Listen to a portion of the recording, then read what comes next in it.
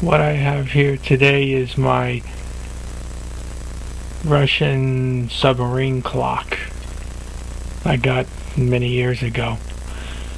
And there's the came in a nice box with the submarine ship's clock 5-CHM I guess that's what they call it. And they have text on the side which is funny to read I don't know if that shows up. I'm not going to read it. And when you open up the box you get the clock in a plastic bag. Oh, I can get it out. Ugh, it's slippery. And you get a base plate and uh, a key and don't forget the desiccant. So that's that. Oh this thing is heavy too. So there it is. Center second hand case. I don't know if you can see those uh, this is where the they did a piss poor plating job. When I got it these were either rough or orange peel and there was white powder coming out of some of them. I knew right away that was a poor plating. I don't know if you can see the uh, the pitting. But this is the second one I got and uh, the first one had a broken balance staff and you know I'm not going to spend all my money shipping things back and forth. So I kept it because it works. So you got a key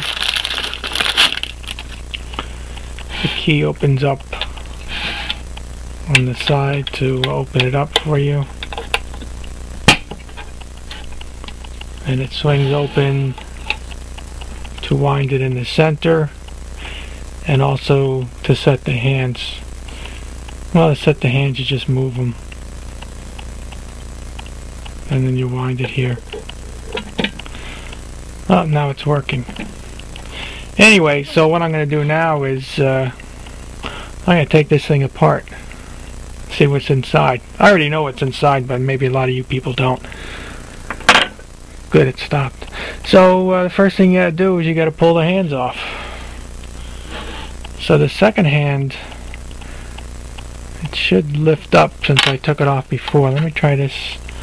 People may recognize this as the, uh, on a computer, to cover the expansion slots on the case. So I'm going to try uh, lifting up the second hand. It comes off easy because I took it off already. I don't want to bend it so I tweezer it. Put that aside. Then to get the minute hand off it's got a nut a round nut in the center that unscrews. So there's the round nut that unscrews. Too much shadow. I take that off and the minute hand comes right off looks like it's brass Next is the uh, hour hand, which is pressed on. So I got my uh, paper there to protect the dial. And I have my two computer expansion set covers. I'm going to pry off the dial. And let me get that there. Put on one on each side. And push them both and off comes the hour hand. Again, looks like it's brass. Okay, now, this thing doesn't want to come off easily. Now we got four screws on the dial. Let's see, one, two, three, four. I think I use this screwdriver or I use this one. Let me see. Oh, this big one works. So, whoops, four screws. I gotta put on my extra eyes soon. Four screws. The box says it runs 8 days on a winding, which is about true.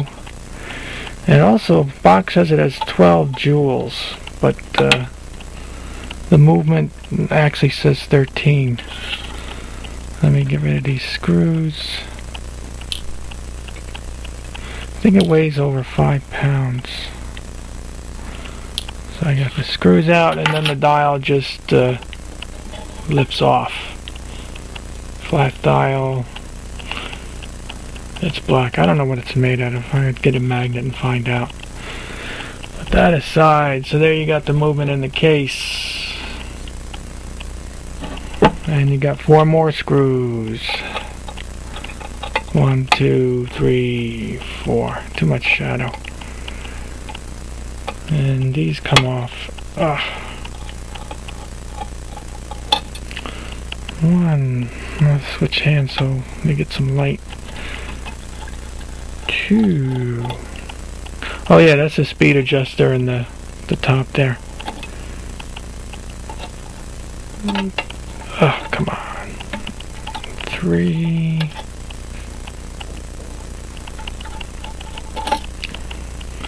And I guess I'll still use the left hand. Four. Maybe we should put the light on the right side. Okay, let me get rid of these screws. One, two, three, four. Okay, now the movement uh, lifts out. And there you got it. Turn around. You can see the mainspring barrel here. And you can see the, uh, well, what's that, the balance pallet fork and uh, escape wheel on the top there. I wonder if it's focusing in on that. Yeah, you see that works. I'm gonna have to wind this up. Uh, let me put this down, and there's the case. Oh, I forgot to mention the case is, as they say, splash proof. What did it say on the box? Uh, a body is splash proof and is made of an aluminum alloy with an applied anti-corrosion coating. Well, that didn't work out too good. But yeah, it is uh, splash proof. It's got a gasket inside there. I'm going to have to fill a bucket with water and put this in there and see how splash proof it is. Of course I won't have the movement in there. So I'm going to take this face plate off this movement so we can see uh, behind it. So there's three screws for that. One, two, three. Ugh. I'm just going to slightly loosen them because I don't want the thing to drop off. So they're loosened. Let me get this out of the way since we're finished with it for now. And I put it back here. Now I can take these off. Oops. One, two, three. I'm to tweezer these. Those are big ones. And three. And uh, I don't know what you call that mounting plate, who knows. Put that aside and this one's loose. These two are stick on. These are plastic. Don't know, maybe it's like a shockproof. So there's the movement. There, I don't know if you can read that. Where is it? Right over there.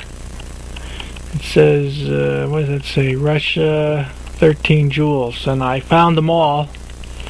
They're there. These are just uh, holes in the plate. Looks these are probably brass plates. And there's from the side. Oh, you can see the wheel. So I'm going to wind this thing up. Oh, this uh, this here is to release the mainspring. It's got something in there where you can only uh, there's a preload on the mainspring.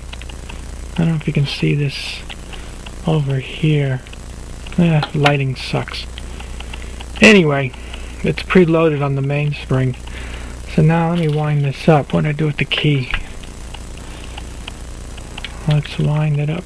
Which way does it go? Oh, it goes that way. Oh, it starts ticks off right away. I wonder if we can see how we wind it up this way. I don't know if you can see that ratchet thing go click, click, click, click.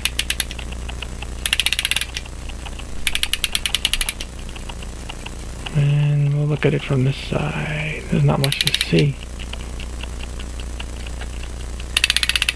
Oh, this thing is really up all the way, so it, it stops. It uses a portion of the mainspring, though not the whole mainspring, with that mechanism in there. So there it is running away.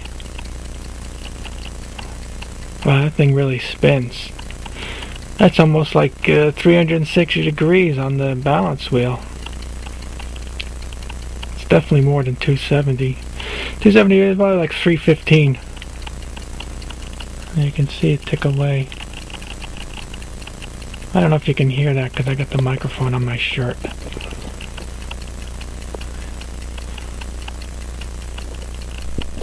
Oh, now I gotta put this thing back on my shirt. Oh, crap. Okay. So there it is. How much time do I got? Oh, God, I got plenty of time. Yeah. Second hand's in the middle. They do this, I guess they do this off to the side because the, the sweep second hand. Usually this stuff is inside. I don't know what I'm talking about. So that's your Russian movement. Submarine clock. Uh, again, we'll show this. Thing goes like gangbusters. Just make sure these screws are tight. Yeah, they're tight.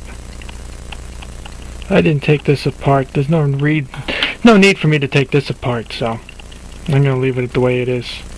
And it's got oil in there, so so let's see if I can put this back together. Ugh, come on. Let's see. I gotta put the spacer back here because it fell off. Put this rested on top. Give me some screws.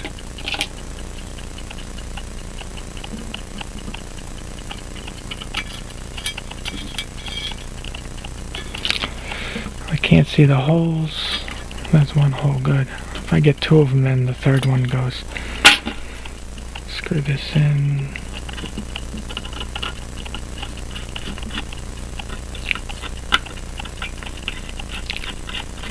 Screw that in. Third screw. This one's gonna give me grief because the spacer. Spacer's in, good.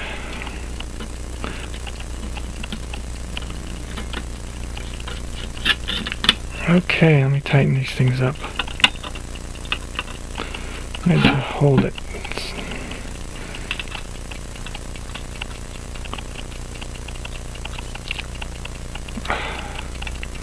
One, two, three. Okay. What's next? Oh, now I gotta case it. Oh, this thing's heavy. Drop it back in. I don't think I forgot anything. Where's the holes? Line up the holes. Four screws. One, two,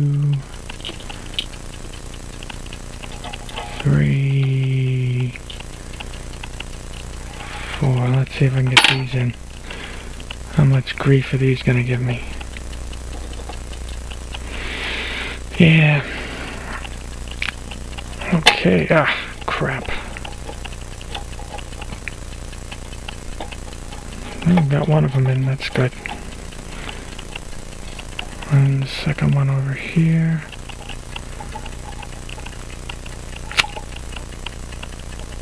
Come on, it's on the edge. Come on, come on, come on, come on, come on, come on. Ah, that one doesn't want to go. Oh, crap.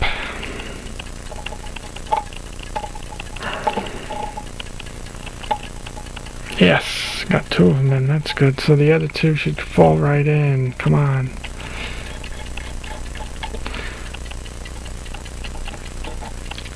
Let's see if I can do this. Okay, four screws in. One. Let's do opposite corners. Two. Three. Four. Okay. Now you got the dial. Center that.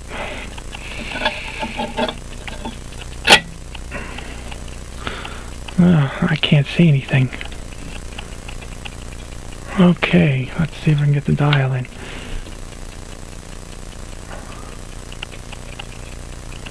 One, two, three, where's the third one? Four. Let's see how much grief these give me. That's one in. Two. Excuse me. Oh, come on.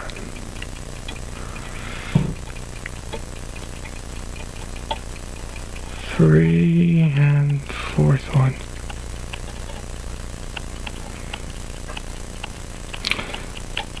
Oh, Got them all in. Yay! Two opposites. Oh, I think I scratched the paint. Damn it.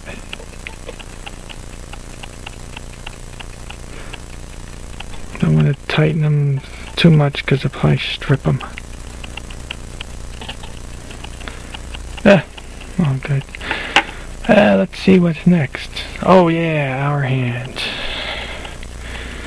Let's see. Well, what you got to do is you got to realize since this is a uh, a square opening, it's best to. Uh, well, let me line it up on an hour. I'm trying to center it. That looks good.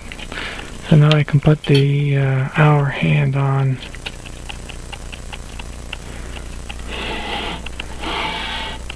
At an hour mark. Oh, come on. I think that's about right.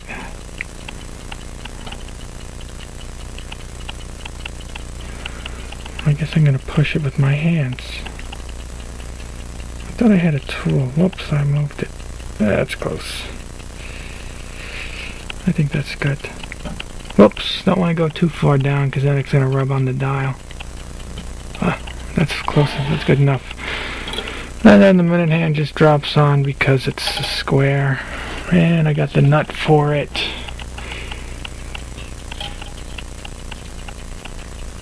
Come on, come on. Sometimes when you try to rush. It's not threading right. Maybe I got it upside down. Okay, there it is. Let's see, center. There, there's like about there, I guess. Then I'm going to tighten by hand. And then the second hand. Which drops right in. Let me uh, do a little push.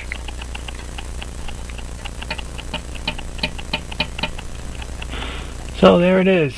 I got it all together. And yeah, there's your speed adjustment at the top. And there's your Soviet submarine clock running.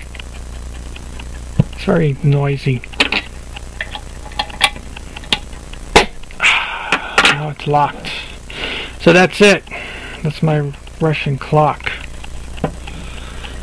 Well, hope you enjoyed the show because uh, it has gone on long enough.